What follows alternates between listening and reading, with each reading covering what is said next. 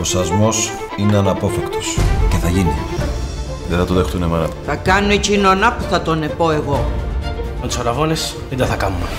Θα το αναλάβω εγώ. Μόνο εσύ μπορείς να κάνεις καλά.